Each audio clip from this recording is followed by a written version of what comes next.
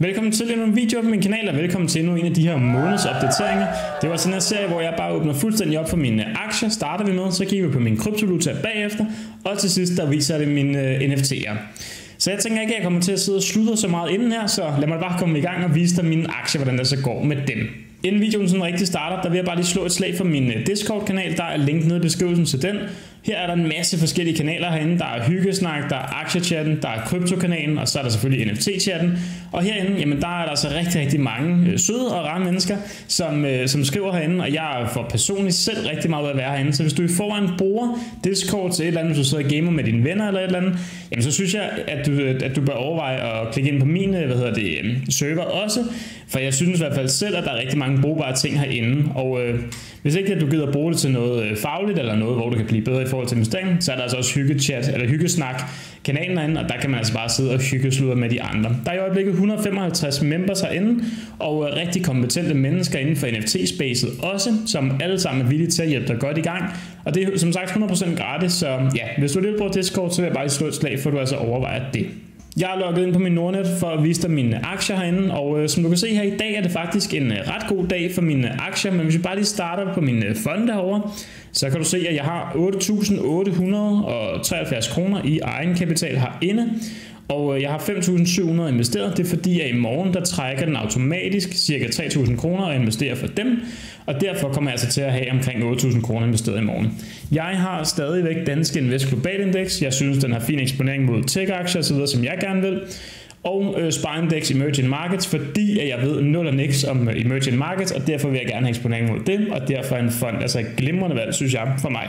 Inden på min enkelte aktie, jamen der er de fleste aktier oppe i dag, men der er altså også en, der der har gjort pænt nas, og den kommer til at vise dig lige om lidt her.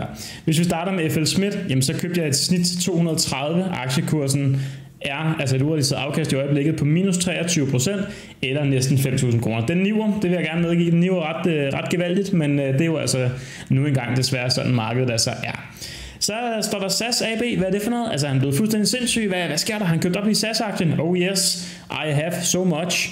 Øhm, jeg sad jo og lavede en video, hvor jeg sad og sagde, uh, hold jeg væk fra SAS. Og det synes jeg stadigvæk, man skal gøre. Men jeg havde det også sådan lidt, jeg gad måske godt selv bare prøve at smide et frimærke i den, og så se, hvad der sker. Jeg har ikke nogen forventninger overhovedet til den. Jeg har smidt små 3.000 kroner i øjeblikket. Jeg har faktisk købt den i dag her, hvor videoen bliver optaget, og allerede i dag har jeg mistet urealiseret 12% Så altså, ja, I kan også godt bare selv se her, ikke? Man skal ikke sidde og smide alle sine penge ind på den her aktie. Men hvis man gerne vil, hvis man synes, det er lidt sjovt med sådan en ekstrem høj risiko, så kunne det måske være, at man, man øh, burde overveje at kigge ind på den. Det hele kommer vi sidst ned til, stopper den her strække for SAS, får de en masse nye investorer ombord, og hvor lang tid funder den danske stat. Det er ligesom de tre ting, jeg ser. Hvis alle de tre ting går op i en højere enhed, øh, jamen så på den korte bane tror jeg sagtens, at aktiekursen kan stige markant mere. Om det, du ved, øh, på den korte bane bliver en rentabel virksomhed, der kan løbe rundt osv., ah, det tror jeg ikke rigtig på. Men altså i det sidste ende, så for mig, hvis jeg kan stige, eller hvis jeg kan tjene for 50-60% på aktien, så er det fint nok for mig. Så, så tænker jeg som udgangspunkt at sælge ud, øh, tror jeg, til, hvis det ligesom bliver bliver en realitet. Så jeg kommer til at holde den øh, for bare i virkeligheden at krydse fingre for, at, øh, at der sker nogle positive ting her. Meta-aktien, igen en aktie, som jeg øh, kommer til at holde i lang tid. Jeg har købt i snit til 218, og øh, i dag der har jeg tabt 2.300 kroner på den, så det er også en af dem, der gør lidt, lidt ondt. Overforsign, den er helt gal. Altså det ved I jo allerede, dem der har fulgt mig noget tid. Det er værste investering, jeg nogensinde har lavet. Jeg køber simpelthen til kurs næsten 32, nu er den simpelthen kurs 2 værd. Så jeg har simpelthen tabt 9.400 kroner, og i dag, hvis jeg skulle sælge, så er det 630 kroner, jeg kan hive ud. Så det er jo altså... Altså, hvis man sidder og kigger på aktiemarkedet, og man tænker, at man, øh, at man har lavet et, et dårligt trade, så kan man altid bare sidde og se mine videoer her. Jamen, så kan man sidde og tænke, Nå, ham kloven derinde på YouTube, jamen altså, han har investeret over for sig. Hvem gør det? Altså, han har tabt 9.500 kroner. What? Øhm, så kan man måske sidde og fodre sig lidt over det, hvis man vil det. Det må man gerne, hvis man, øh, hvis man har lyst til det. Norwegian, øh, ja, igen øh, kommer til at holde lang tid og håber, den på et eller andet tidspunkt bliver profitabel og løber rundt osv. Øh, 1.100 kroner er nede. Den tror jeg faktisk, øh, synes jeg er, er fair nok. Øh, der er jo meget pres på flyselskaber så så jeg i øjeblikket. Jeg håber, det bliver bedre de næste år, når vi får lidt mere normale tilstande, og ikke alt det her strejke og coronamangel og så videre. Altså mangel på mandskab, det kan vi mangle corona. Trust me, der er ingen af os, der har lyst til, det kommer tilbage. Danske Bank, den er på kurs, eller købt i snit til kurs 114 øh, urealiseret afkast på 1517. Igen, den tror jeg nok på et eller andet tidspunkt skal stige. Hvis de bare kan prøve at lade mig hvidvaske så mange penge og lave en mulige skrækkelige skattesager osv., jamen så tror jeg på et eller andet tidspunkt nok, den kan komme, når folk ligesom, øh, hvad, eller når renterne begynder at stige endnu mere, og ja, det tænker jeg på et eller andet tidspunkt nok skal, skal blive meget fornuftigt for dem. Lundbæk, der, øh, det ser lidt mærkeligt ud, for der står også Lundbæk Accept heroppe. Det er fordi, at de lige har lavet et aktiesplit, sådan så man kunne have købt øh, hvad hedder det, A-aktier eller B-aktier. Jeg har købt øh, B-aktier for mine. Det betyder, at øh, jeg har kunne få fire aktier, øh, eller fire B-aktier for en akties pris. Øhm, og det valgte jeg at gøre, og B-aktien det er egentlig bare dem, synes jeg, som er dem, der tiltaler de normale investorer. A-aktien det er, hvis man meget gerne vil have medbestemmelse i bestyrelsen. Der var nemlig stemmeret her, øh, og det havde jeg ikke ligefrem noget behov for, så, så godt kender jeg heller ikke lige Lundbæk, så jeg har noget behov for at sidde og, og hvad hedder det, og skulle, øh, og skulle stemme i nogen bestyrelse eller noget som helst. Så det var, det var fint nok for mig at køre med, med B-aktien. Men som sagt, så er den altså oppe med øh, 500 kroner, og det var altså den eneste af mine aktier, som der øh, i snit er et, et positivt urealiseret afkast på. Så øhm, det ser rimelig tof ud også for mig, og øhm, ja, vi håber bare, at øh, vi holder bare ud, jeg holder bare ud, og så håber jeg, at øh, markedet på et eller andet tidspunkt vender, og så håber jeg på et eller andet tidspunkt, at jeg måske om et halvt år eller et helt år, kan sidde og vise en grøn portefølje. Det er i hvert fald målet. Men samlet ned cirka 20.000 kroner, eller 22 procent. Hvis jeg bare lige skal vise dig mine øh, kryptoer herinde, så kommer det til at gå ret hurtigt, for der er ikke så meget at vise. Jeg har 125 dollars øh, cirka investeret herinde, og grunden til, at der ikke står mere, det er fordi, jeg har aldrig nogen særlig store beholdninger på de her sites her. Jeg har dem altså altid i wallets, og det betyder altså, at jeg har den enten i min Metamask eller min Phantom, og når jeg får endnu flere penge, så kommer jeg til at få en hardware wallet, altså en anden form for ledger, hvor jeg har et fysisk USB-stik mere eller mindre, hvor at, øh, mine øh, penge er gemt. Men lige nu, når jeg har større beløb, så synes jeg godt, at jeg kan retfærdiggøre, at de er et eller andet sted online.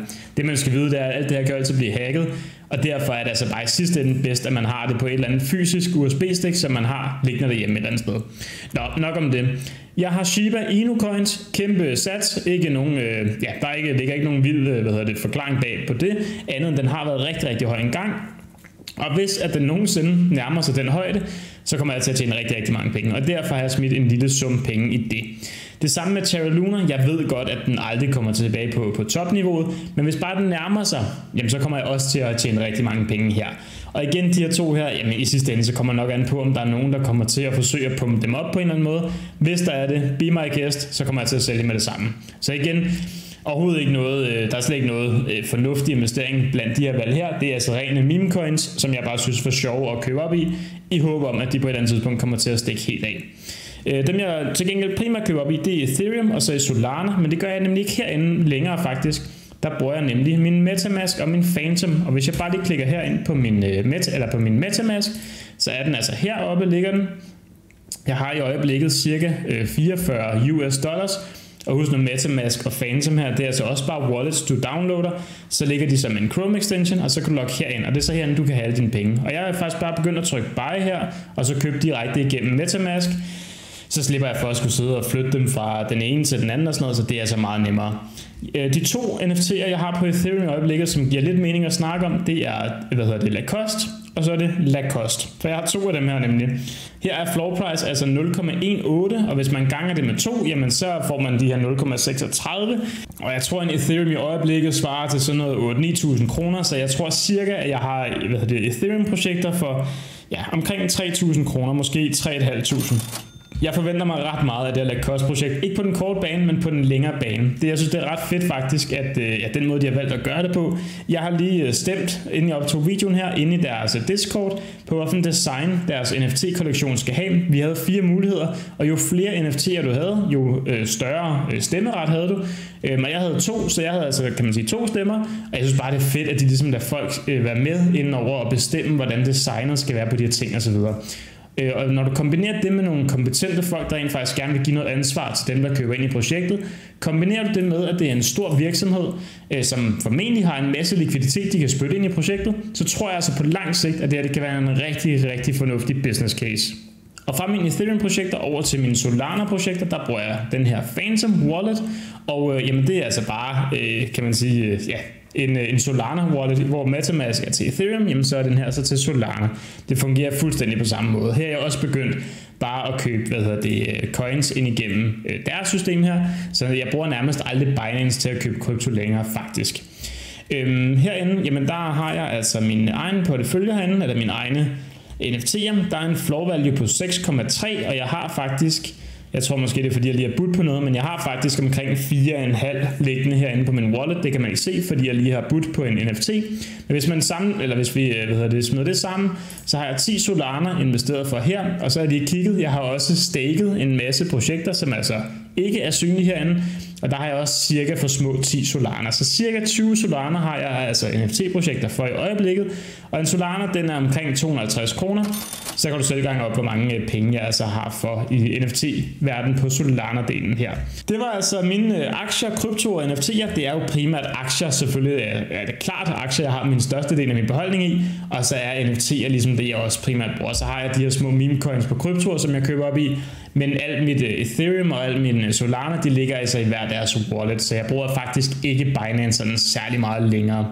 Jeg håber, du synes, det var fedt, at jeg åbnede op, og du må meget, meget gerne skrive ned i kommentaren her, hvordan der står til med din portefølje, hvad enten det er aktier, krypto eller NFT'er.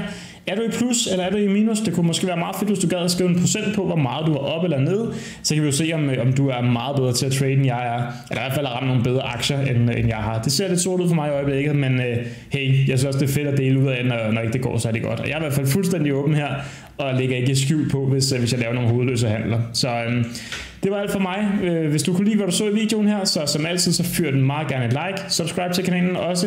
Og ja, så er jeg egentlig bare glad for, at du, du gad at se videoen her i dag. Jeg har ikke så meget andet at sige, andet bare ses til min næste video.